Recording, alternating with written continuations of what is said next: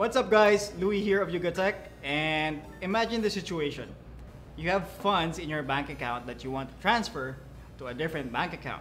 The normal procedure would be to go to your nearest bank branch, line up, and do the transaction. But that takes hours. But what if we can show you a different way to do that transaction but get it done in 5 minutes or less? That's why we're here and that's what we're going to show you. Watch this video.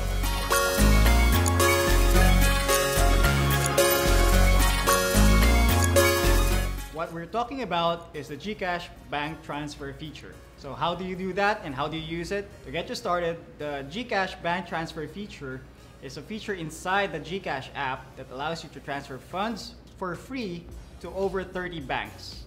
The service is powered by InstaPay, which is an initiative of the Bangko Sentral ng Pilipinas that allows you to electronically transfer funds to and from banks in real time, as well as non-bank e-money issuers in the Philippines. GCash can also let you transfer funds from your bank to your GCash wallet and that process is called cash in. We're going to show you how it works with the GCash app. So the first thing that you need to do is open your GCash app, log in, then from the GCash app you will see the amount of funds that you have in your GCash wallet. So the first step that we're going to do is transfer the funds from your bank account to your GCash wallet using the cash in feature. So the first thing you need to do is press this plus icon here or alternatively you can like press this icon here the cash in wallet.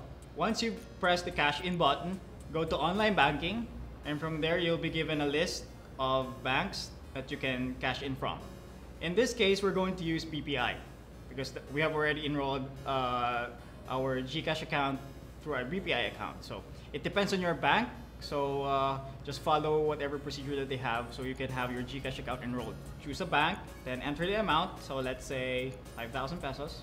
Then click next, then confirm.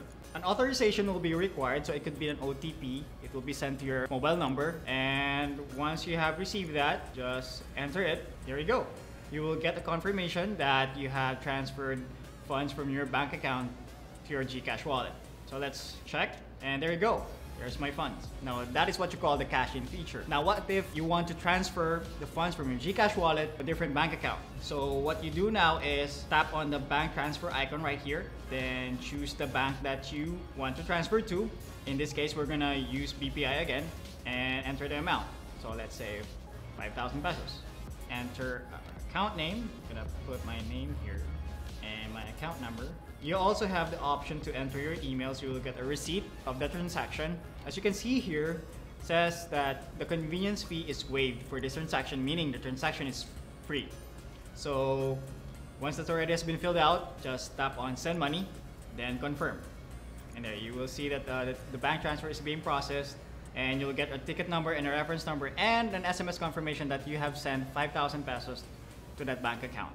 And there you go, done. And that's what you call the GCash bank transfer feature. As you can see, the whole process, the cash in and the bank transfer took less than five minutes. And uh, I don't have to go to the nearest bank, line up, spend hours there. I can do it anytime, anywhere. This has become my primary method in transferring funds to family or friends or relatives and it's also uh, an easy way to pay online sellers if you're purchasing products from them. So given the convenience and the time you save, I say it's worth uh, using and it works.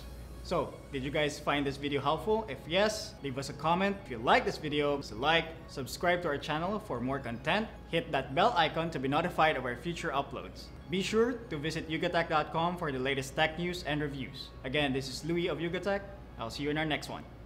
Bye.